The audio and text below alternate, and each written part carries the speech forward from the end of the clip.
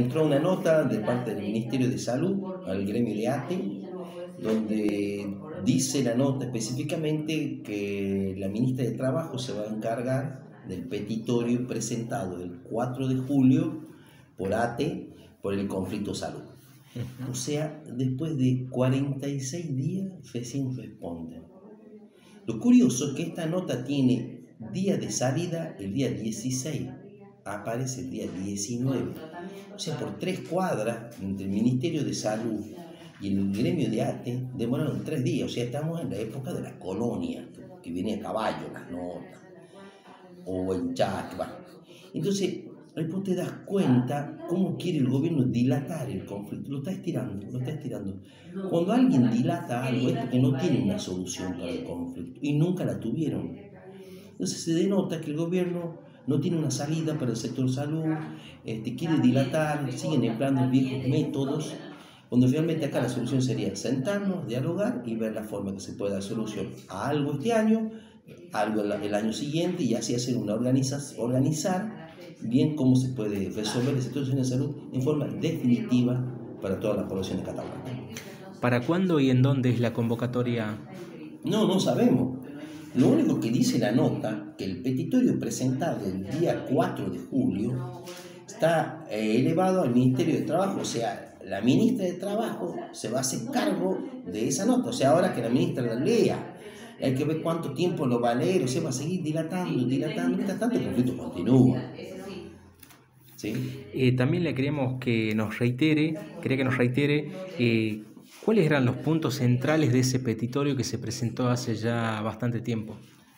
Eh, hace 46 días, es para los quinieleros. Este, ¿Cuál es el petitorio? El petitorio tiene cuatro puntos. El primer punto es un incremento salarial del 100% para todos los trabajadores de la salud, desde la, la mucama al médico, para todos, de toda la provincia. Segundo punto es eh, el pase a planta de los precarizados. Sabemos que se nombraron 500 trabajadores en este año, en los cuales hay muchos que no son trabajadores de salud, son acomodos del gobierno, que es responsabilidad del gobierno, lo cual repudiamos totalmente, porque han dejado afuera gente que tiene muchísimos años, 12, 13 años, como la gente de Tinogasta, por ejemplo, o la gente de los, de los, del interior, becados de los municipios eh, o sea, queremos nombramiento de esa gente, gente que viene cumpliendo, su mano de obra barata. Yo siempre he denunciado que el Estado de Catamarca, el gobierno de Catamarca, es el primer empleador en negro con la precarización laboral. El tercer punto es el pase a plantas, o sea, la incorporación, perdón, la incorporación del doctor Salín Quintar y de la eh, enfermera Noelia Coronel. Estos dos compañeros, un médico y una enfermera, fueron echados de la provincia, fueron, son perseguidos políticos. ¿Por qué? el doctor Quintas, por querer hacer bien las cosas, después de tener un problema de salud, directamente le, eh, le, presentaron la renuncia, o sea, lo, lo, echaron, o sea, no, no, no presentó la renuncia a él.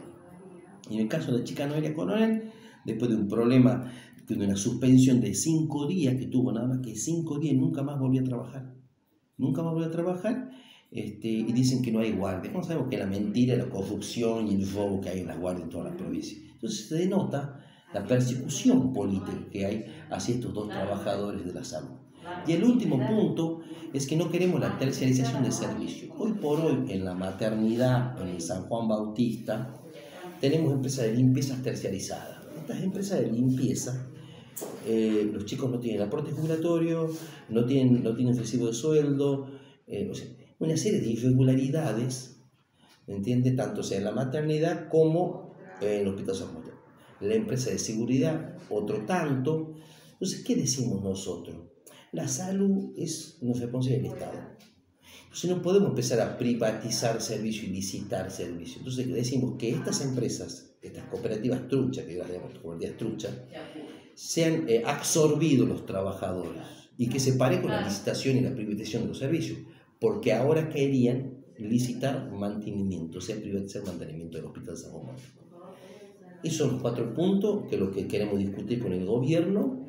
Así bueno, esperemos una, que urgente el Bonfonil.